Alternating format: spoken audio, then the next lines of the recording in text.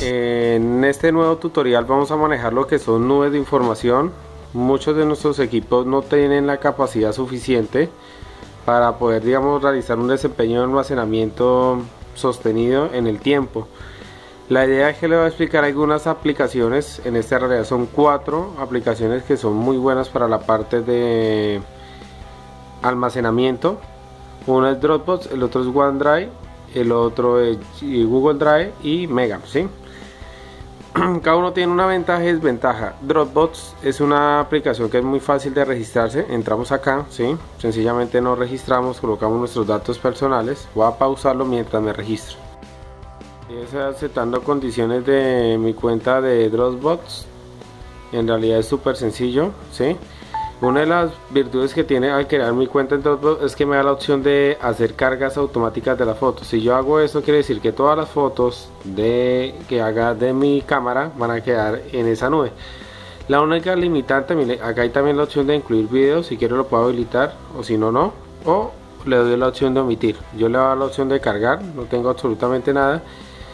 ¿Cuál es la ventaja de Dropbox? Dropbox me da la opción de instalarlo en mi PC, igual que los demás nubes de información y una de las ventajas que tiene es que también hace capturas de pantalla y las guarda directamente ahí. Esa es una de las desventajas que tiene, que digamos que tiene Dropbox, es muy poco en almacenamiento, solo arranca con 2 gigas, puede aumentar hasta 16, tiene que invitar a muchos amigos, a mucha gente, pero es uno de los mejores en la parte de almacenamiento en una nube. Está como práctica puede decir de primero, pero hay muchísimo más. Volviendo acá, tenemos otro que es el que vamos a seguir, que sería Google Drive. Google Drive pues funciona obviamente con nuestra cuenta de Gmail, ¿sí? Pasa lo mismo, guarda absolutamente todo, le vamos a aceptar, le vamos a acá listo.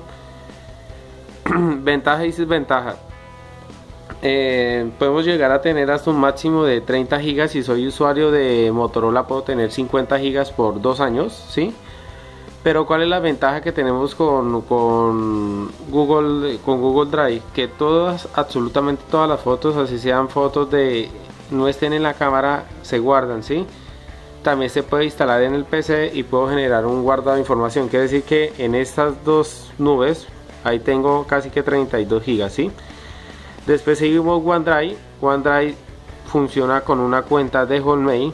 Es obligatorio. Nos pide iniciar sesión. Vamos también a pausar el video para poder iniciar sesión. Es muy muy similar. El OneDrive también es uno de los mejores para hacer captura de, fotos. Yo tengo también un máximo hasta 30 gigas con él y puedo hacer lo que yo quiera. Listo, vamos a pausarlo un momento mientras inicio sesión. Listo, después de iniciar mi sesión, eh, OneDrive da la opción de nos regala aún más de gigas, ¿sí? Entonces en este caso la voy a activar. Funciona exactamente igual que las demás nubes. Yo puedo guardar información, puedo instalarla en mi PC, puedo tener lo que yo quiera directamente acá.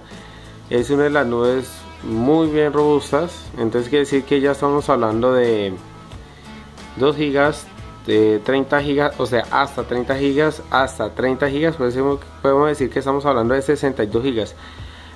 Y guardo la mejor para lo último. En este caso Mega es una aplicación que no es muy conocida por todo el mundo, ¿sí? También me da la opción de registrarme, me voy a registrar en este momento. ¿Cuál es la ventaja con Mega? Mega le da 50 gigas 50 gigas que es bastante bueno no tengo que hacer absolutamente nada sencillamente registrarme es súper seguro es muy confiable y pues también carga con fluidez todo el tipo de información. Entonces voy a pausarlo para registrarme. Acá ya me registré sencillamente voy a aceptar términos y condiciones voy a crear la cuenta y lo que le digo mega es una nueva información excelente. Entonces nos pide confirmar por correo electrónico. Entonces nos tiene que llegar un correo electrónico. Vamos a entrar acá. Entramos a nuestra cuenta de gmail. Verificamos a ver si llega algo.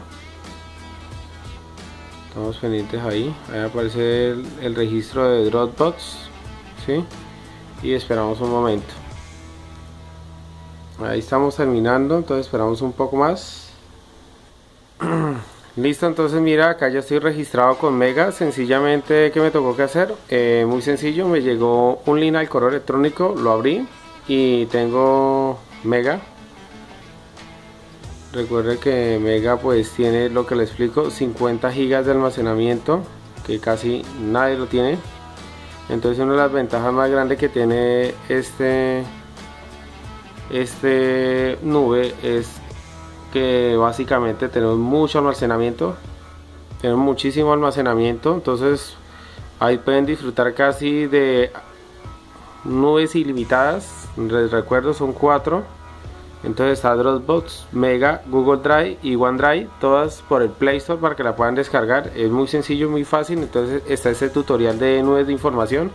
Funciona para cualquier equipo que tenga Android cualquiera. Si ustedes manejan otros sistemas operativos también existen, pero este tutorial especializado para Android. Cualquier marca, ya sea Sony, Motorola, Samsung, la que sea, aplique este tutorial. Espero que sea de su agrado. Cualquier comentario no olviden dejarlo abajo. Muchísimas gracias.